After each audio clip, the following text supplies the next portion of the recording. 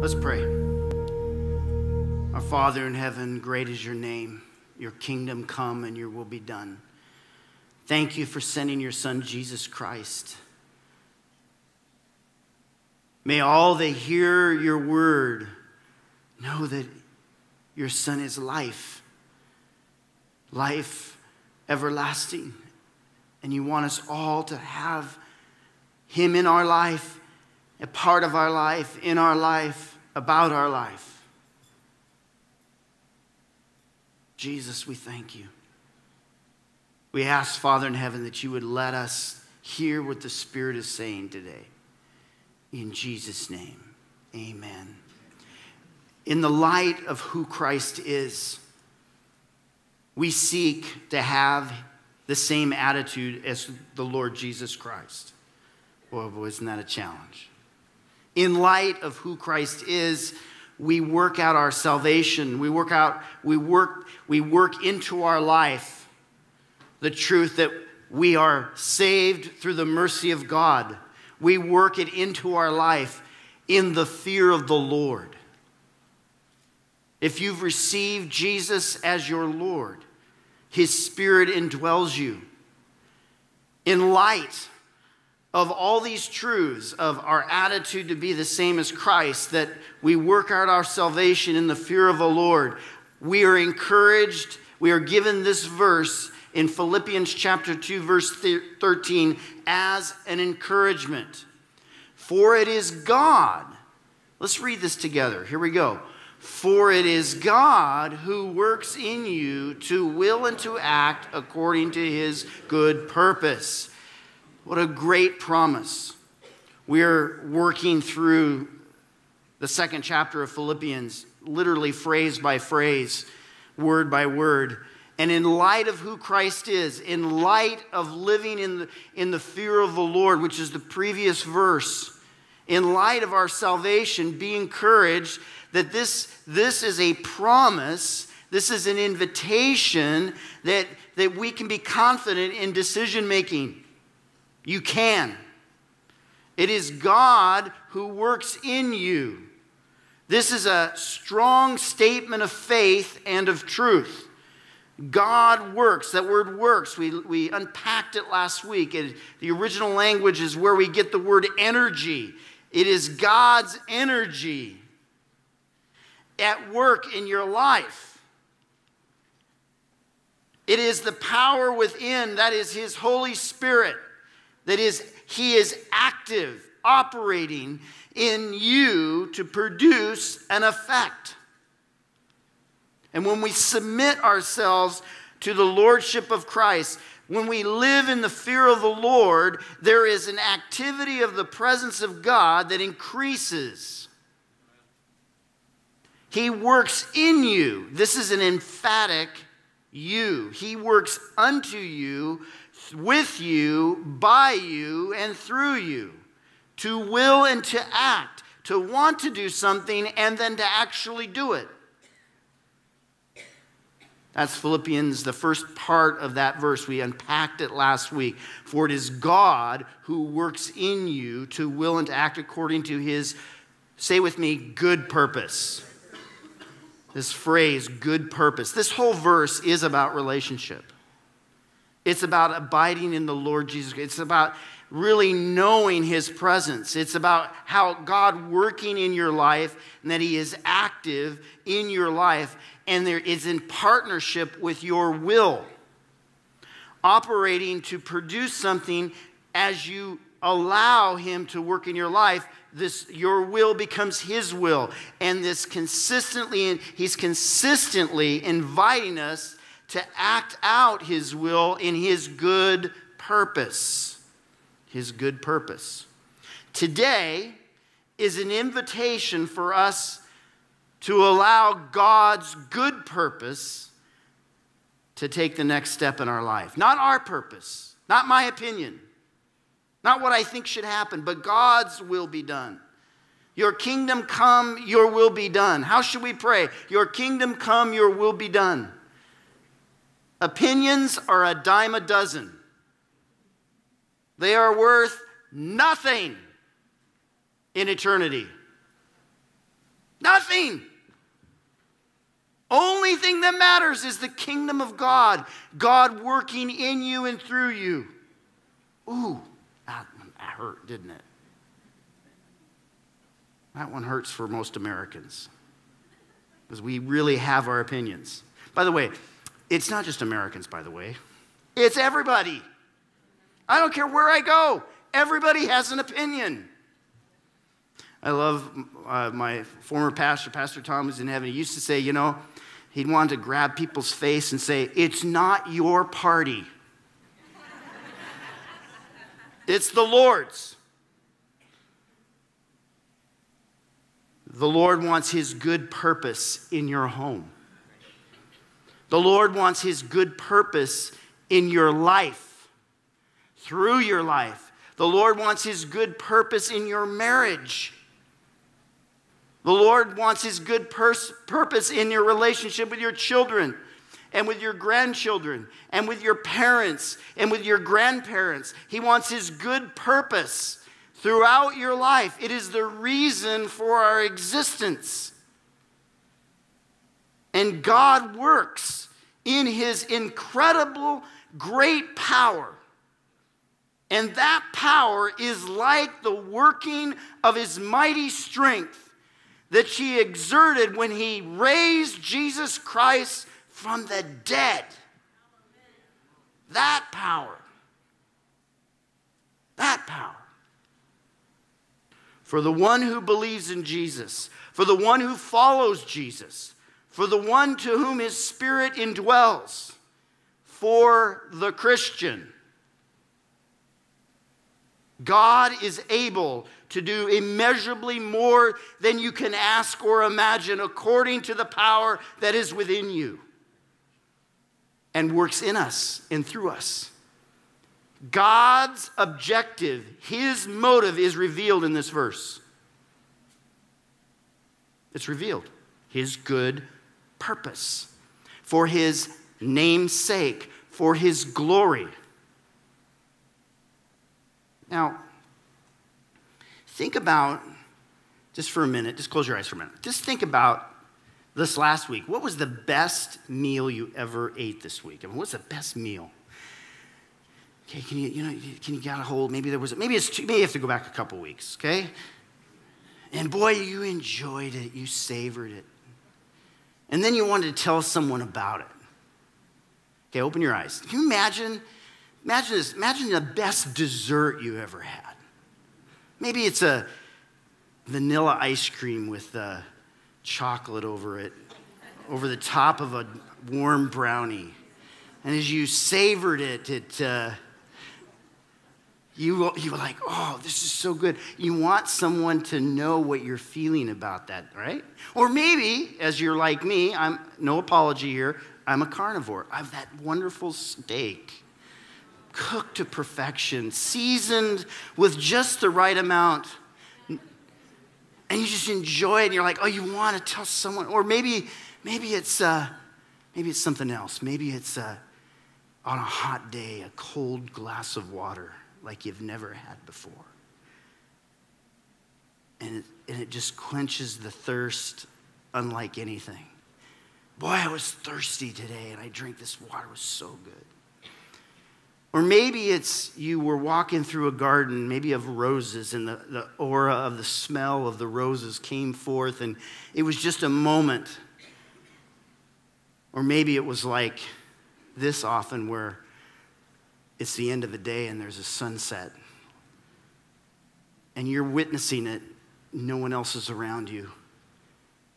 And you're thinking, wow, what a moment. And of course, then we bring out our cameras or our phones and we're taking pictures so that we can, you know, show someone what we just experienced. What I just described to you is life. We, we are constantly looking for to share our, what, what brought us pleasure.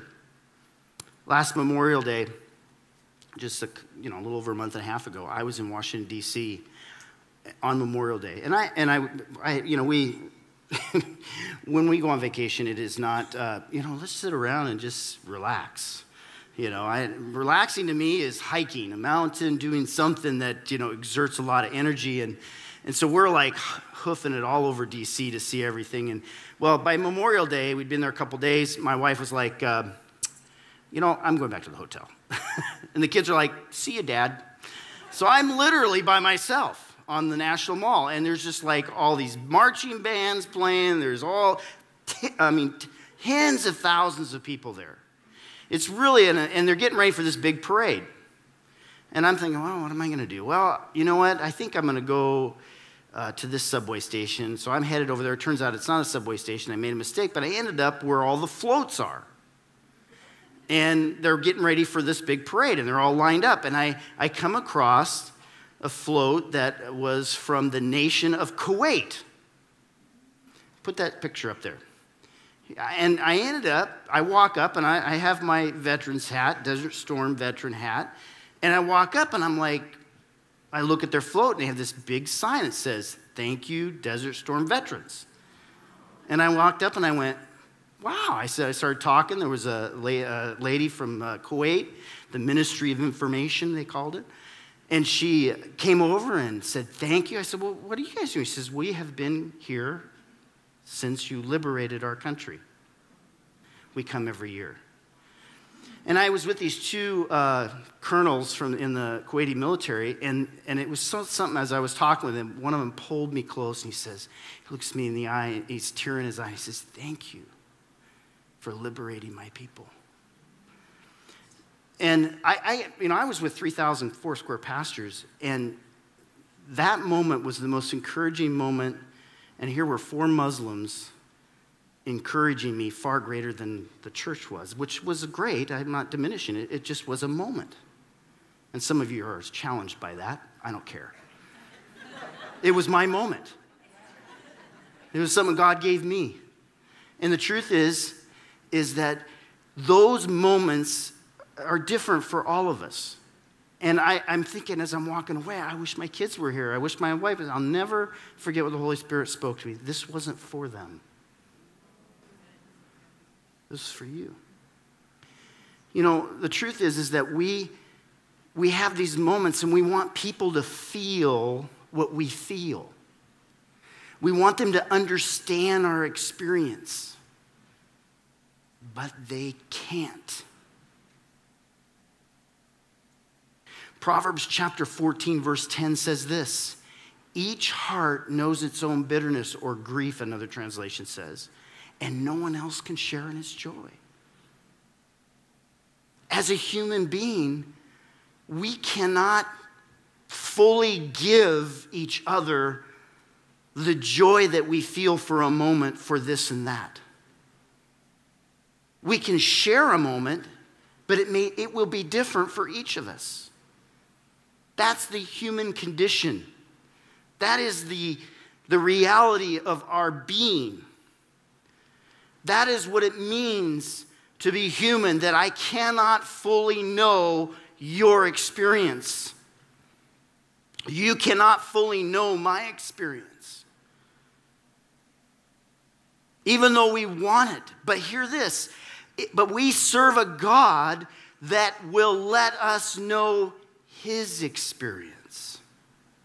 While we can't do that with each other fully, God can do that with each one of us.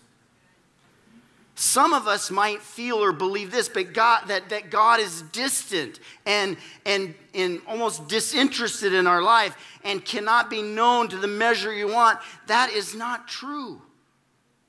That is not true. You can know the Lord in a closeness. But you must seek. He invites. And you must ask. You must knock. You must be looking for him. We can. We can, God, what God's pleasure, his good purpose, we can know. We can know. When it says, For it is God who works in us to will and to act according to his good purpose. That phrase, good purpose, literally can be translated his pleasure, what pleases him.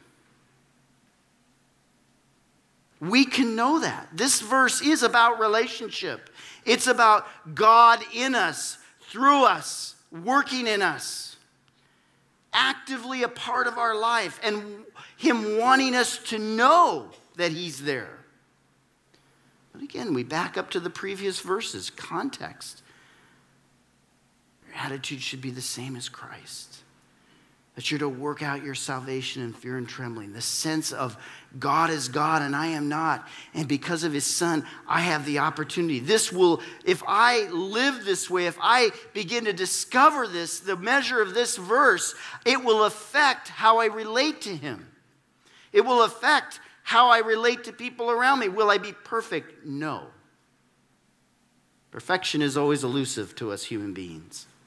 But it doesn't take away from the, the when his pleasure is known to us, how it inspires us to still strive for that perfection without ever losing the sense of confidence and peace that comes through his son. You know, the, there could be no better expression of purpose than what you saw in that opening video. I couldn't think of any better expression of it than a people who were lost in darkness. And a message of the Savior arrives, a miracle is done, and an entire family upon family, generation upon generation is changed. Now, guess what? I just didn't describe some tribe in the Solomon Islands, I just described you. For we were lost in darkness and because of his great mercy, he sent his grace through the gospel of, that is the power of God unto salvation.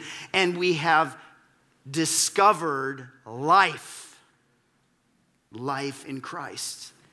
This idea, good purpose in this verse, is could also be benevolent purpose and pleasure.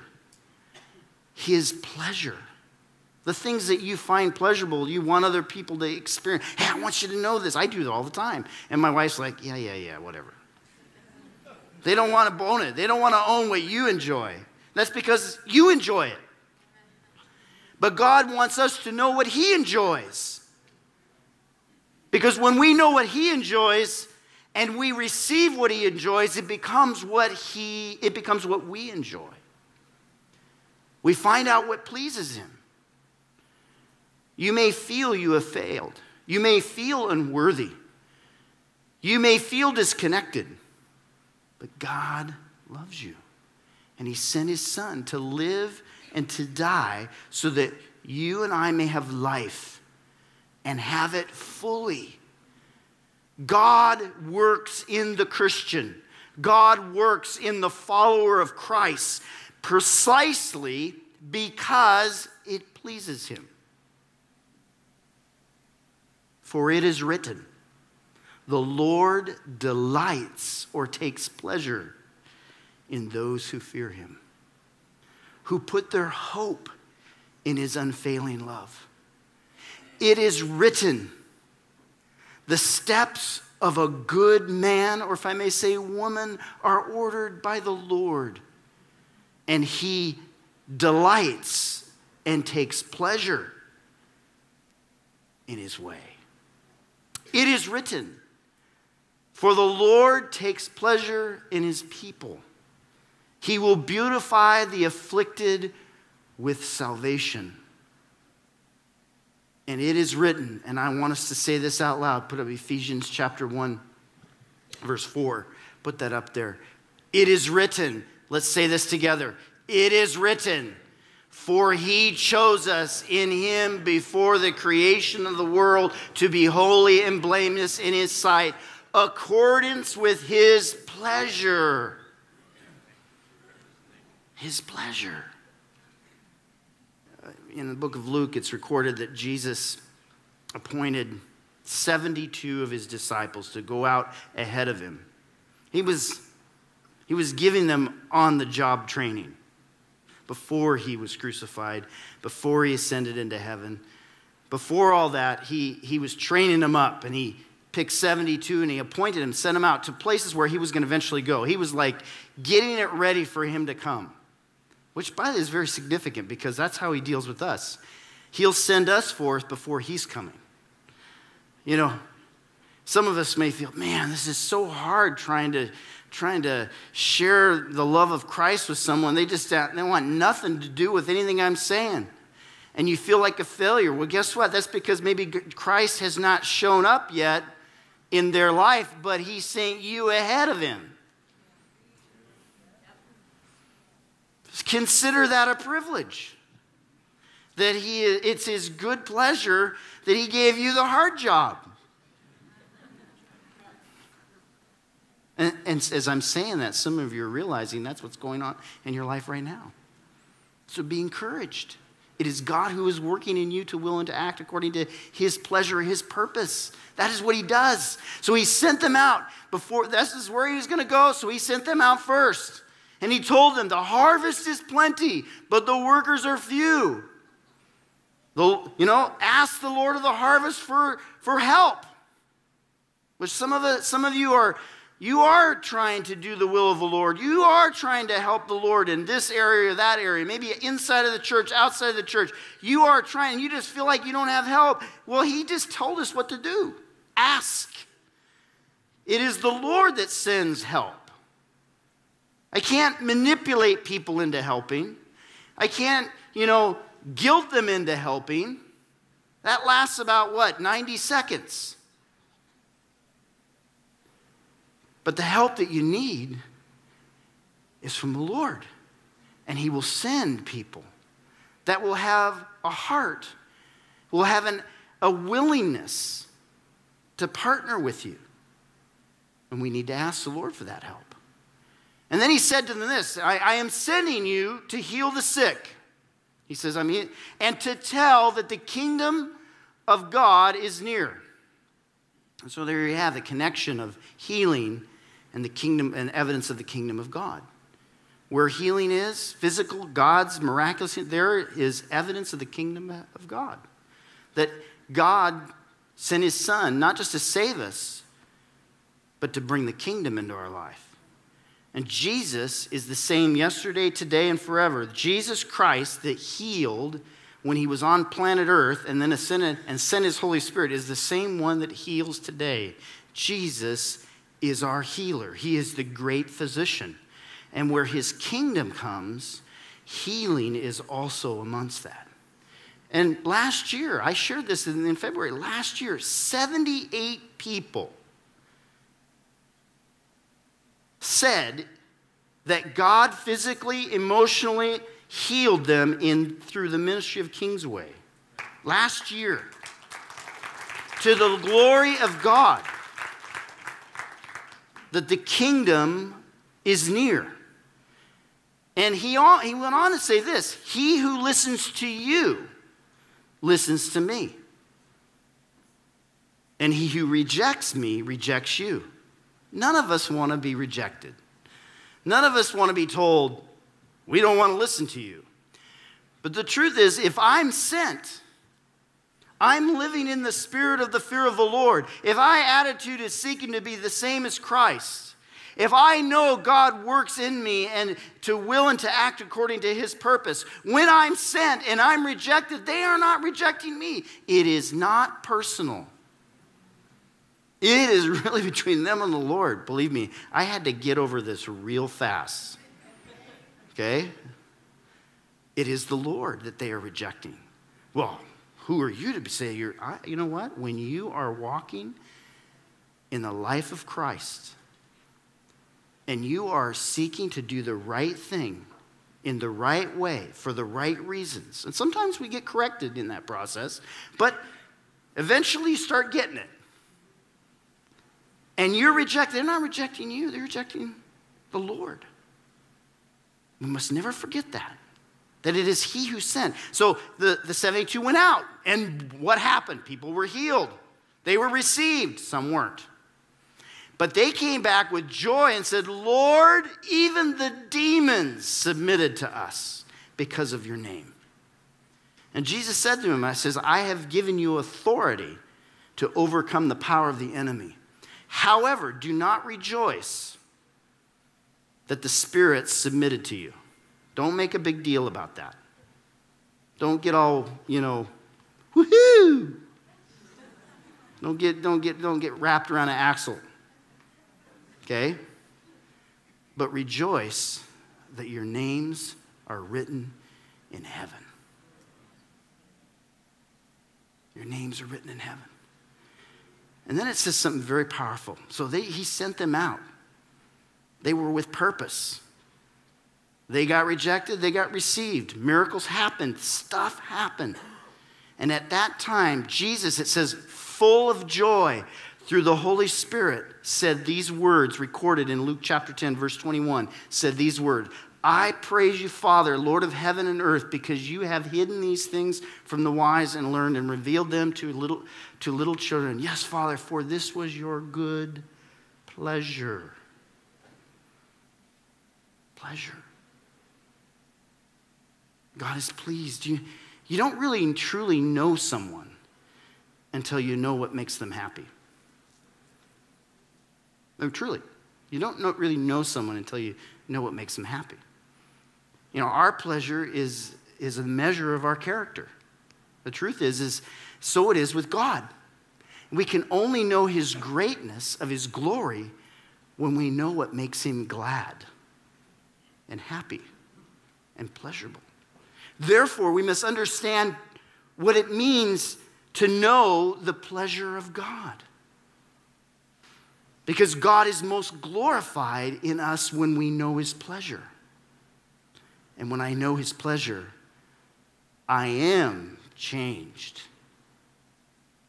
And God takes pleasure in his creation. He takes pleasure that he all that he has made, including you and I, he looks at us and sees that it is good. He takes pleasure on us. He takes pleasure in his son, Jesus. That's why we're pointed consistently to be like the Lord Jesus. In the book of Matthew, Jesus went down to the Jordan. He was, he, was, he was following the Holy Spirit. And John the Baptist was baptizing people, calling them to repentance. And Jesus shows up and asks to be baptized. John, not wanting that, resisting it, he's saying, I should be baptized by you. He was reluctant.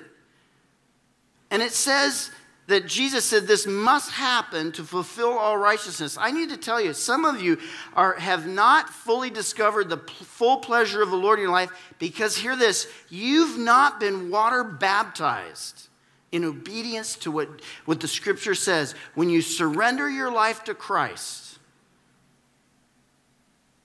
what must we do to be saved? To be to repent and to be bad, baptized. In other words, immersed like Jesus was immersed. We can do that behind that secret curtain right there. No, just kidding. Actually, remove that and there's, and we could do that. You need to say something. I need, as I'm saying that, someone's thinking, I should do this. Yes. Well, I, they're going to know that I've, you know, I've been a Christian for a while. I'm not done. So what? So what? This isn't about other people's opinions. This is about the pleasure of God. And soon as Jesus came, was baptized, he came out of the water. It's recorded that, that the Father spoke from heaven once the Spirit descended him like a dove and lightning. We always leave the lightning part out. Uh, like a dove. The Father spoke these words in chapter 3, verse 17 This is my Son who, who, uh, whom I love. With him I am well pleased when we're obedient, even when we don't need to do that to fulfill some necessity, when we're just obedient, the pleasure of the Lord is there. We are formed like a son. More and more, we will please him. I, have heard it said this way that you can tell the excellency of a soul by what they delight in. What do you take pleasure in? My encouragement to you is seek to align your pleasure with his pleasure. As it says in Ephesians chapter 5 verse 8, for you were once in darkness, but now you are light in the Lord. Live as children of the light, for the fruit of light consists of all goodness, righteousness, and truth. And here it is. And find out what pleases the Lord. Find out that I can't give that. I'm teaching you this, but I can't I can't make you do this. You have to find this, to know his pleasure, to believe in his pleasure, to obey his pleasure. When you know what is right and you choose to do it, that pleases God. And you can know that pleasure. Search the word to know, find out what pleases Him, and let your motivation be in step with His pleasure. In the end, knowing His pleasure really is the byproduct of your faith. As it says in Second Thessalonians chapter 1 verse 11 it says this we constantly pray for you that our God may count you worthy of his calling that you that by his power his energo his energy that's the same word may may fulfill every good purpose of yours and every act prompted by your faith and that purpose is the same word that's used in other words, there's this marrying of God's will and my will. I'm in step. Psalms 91, verse 14 says, May the words of my mouth and the meditation of my heart be pleasing to you in your sight, O Lord, my rock and my redeemer. Or Proverbs chapter 11, verse 1. I mean, there's a lot of verses in regards to this. The Lord abhors dishonest scales, but at accurate weights are his delight or his pleasure. When we discover and look at the word, what pleases God? And we do it. There is an, you know, this really is an aspect of what I would call the fear of the Lord. One I didn't even unpack a couple weeks ago. And an aspect of the fear of the Lord, and if you go into the Old Testament, you'll, you'll find different passages that refer to this idea. And it's this that I don't want to be out of his pleasure. I, there's this motive in my heart. I don't want to be out of his pleasure. And so, as a result, that is the fear of the Lord. That's an aspect of it. And knowing his pleasure is focusing on what promotes his goodness, good purpose. What promotes goodness, his goodness. Having faith that God is good and he's at work and his good purpose will come about. That's, a, that's an incredible amount of faith in the midst of challenges. To believe that even when it's not going my way, Romans 8 28 says, and we know that in all things God works for the good of those who love him, who have been called according to his purpose, and that's to be conformed to the likeness of his son. What if you find yourself in a place where you, you know that you're outside of his pleasure? Welcome to the club. Been there. I'm going to show you what I do. Can I show you what I do? Pretty simple. I take communion. You, by the way, you don't have to do this only at church. Did you know that? You can do this on your own um, you can take a piece of bread and a little grape juice, and you could do this by yourself. It's, it's not wrong. Do this in remembrance of me. And I remember what he's done that he's my Savior. You are my bread, so I eat it. I sinned against you. Forgive me. I receive your forgiveness. That's what I do. By the way, I immediately feel his pleasure. Not because I did something right, because he already loves me. I don't have to earn his love. And you can know that pleasure. You can know that love. Faith in his mercy, his good pleasure. Trust in the Lord and do good. Dwell in the land and enjoy safe pasture. Delight or pleasure yourself in the Lord. and he will give you the desires of your heart. Commit your way to the Lord, and he will do this. He will make your righteousness shine like the dawn, and the justice of your cause like the noonday. One of my favorite stories, Christian history stories, many of you know it, is about a guy named Eric Liddell. I love that story. I mean, I spent probably two hours this week just watching documentaries on his life, just because I just, I, I just love to hear about the, you know, the heroes of the faith. And Eric Liddell was called the Flying Scotsman. He was born in 16th January 1902 in China.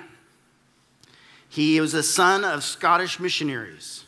At the age of six, him and his brother were sent back to England to, in boarding schools, as, as was the custom of the time, and separated from his parents and his sister. And they were raised in this boarding school while his sister, Jenny, and his parents went back to China. And after spending, uh, going through school, he ended up going to uh, uh Edinburgh for, uh, for, for college and university. His parents would come back occasionally for furlough and they would spend time there. Liddell uh, went on to Edinburgh University and he became well known as the fastest man in Scotland. And, in, and many of you know this story in 1924 in the Summer Olympics in Paris, he refused to, uh, he actually refused to uh, um, run on a Sunday because he, he took it serious when he says, you know, take the Sabbath. Which, by the way, I do too, but it's not Sunday for me, it's Thursday. So if I don't answer your, the call on, you know, on Thursday, you know, don't get offended. He was not offend, he was not worried about offending the government of England by refusing to run on Sunday. He, he wanted to please God more than his own country. And he gave up the race that he was projected to win. He won the gold in another event during the week. He went on, uh, and by the way, that race was projected to be won by the Americans. He left there and went uh, back with his brother to China, where he served the Lord, and he only returned to Scotland two more times in his life. And in 1943, he was interned in a Japanese camp because of World War II. And he, he influenced the entire camp the children, the youth. People were, were strengthened in their faith by his attitude towards what was happening. And while they were in the camp, just three months before the camp was liberated, he became gravely ill and he died. But just the day or two before he died, he, uh, he, there was a Salvation Army band that was playing outside and he sent a note from his bed and he asked them to play a song. And it was, Be still, my soul. And I want to read you the, the phrase here. It says, Be still, my soul. So on his deathbed, this is what he was asking, this is what he was singing Be still, my soul. The Lord is on thy side. Bear patiently the cross of grief or pain. Leave to thy God to order and provide, and every change he faithful will remain. Be still, my soul, thy best, thy heavenly friend, though thorny ways leads to a joyful end. He understood what the pleasure of God was. It wasn't just about his missionary work, it was also about that he made him fast. In the early 80s, many of you know the, the Academy Award winning movie, The Chariots of Fire, was made about his story, about him choosing not to run. And then he ran during the week. Well, when he ran during the week, uh, his sister and his parents did not want him to do it. They wanted him to go to England, not go be with the world, but he, he wanted to be with the pleasure of God. And one of the things that caused him to know God's pleasure was running. I want to show that last scene of that movie because it's so inspiring, so communicates exactly what I'm talking about. So we're going to watch it and then conclude. Let's watch that. A great story, true story. a true story, we can know his pleasure. You can know his pleasure. But you have to want to know his pleasure. You have to seek to know his pleasure. You have to obey his pleasure. Let's bow our heads and we'll conclude. Lord, we just thank you for your word. May each one of us know your pleasure in a new measure today. And if you have missed a season of knowing his pleasure, the invitation of the Lord stands. He stands at the door of your heart and knocks. Just open your heart. Follow him. Discover what pleases him, and you will fully know that pleasure. Not just know about it, but know it. The Lord's peace be upon you. Amen. Let's all stand. Go enjoy this beautiful day. The Lord bless you. The Lord keep you. May his face shine upon you and be gracious to you. May he lift up his countenance upon you and give you peace. Have a great and blessed week. Pray for our middle school camp that happens this week. Be praying for you. We, we certainly can use some help with uh, uh, both with uh, the, the kitchen. You can talk to someone in the back back there. Olympic Christian School back there if you want to talk with them. God bless you. Have a great week. I am broken at your feet.